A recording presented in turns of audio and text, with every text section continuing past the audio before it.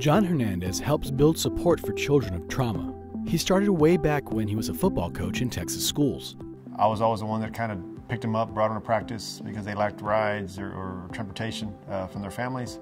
So there was always a connection there, a motivation piece to find a way to, to get them to school. Many kids in John's current school district, East Central, missed lots of school and faced criminal consequences.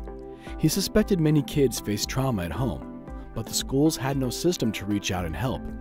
Fortunately, in 2015, Texas law removed the criminal offense from truancy and pushed schools to do more to address attendance, including meeting with parents. We met with each family individually, and it came to, again, being a former coach, write down all those different reasons why kids weren't coming on, on a napkin, basically. It was, I'm the head of the household, I haven't seen my father, he's incarcerated, my mom's got hospice, I'm, I'm the, I'm the driver. John's family meetings dramatically cut court referrals. So now it became more of a restorative approach to where we had to build the, the trust, but knowing that you're in a safe environment. I'm not here to get you, but I want to know your story. John wasn't done. He attended conferences about how trauma causes mental and physical pain that also affects children's brain development, classroom focus, and future health. He polled students and found most, indeed, faced big trauma.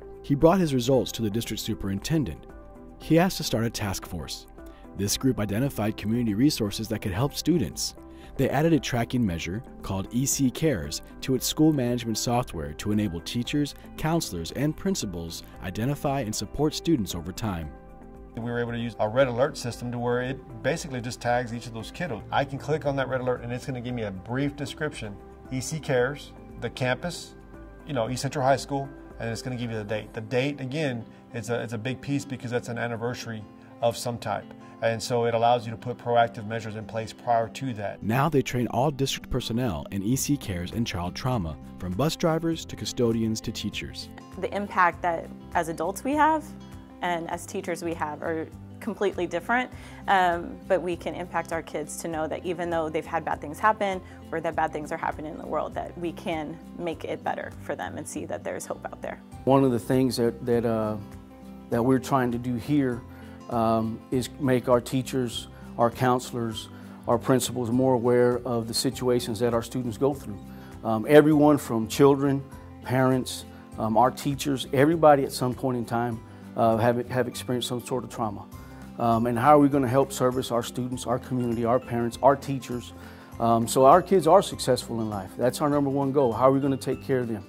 Now more kids are connecting to counseling and support that they need and attending class rather than landing in court.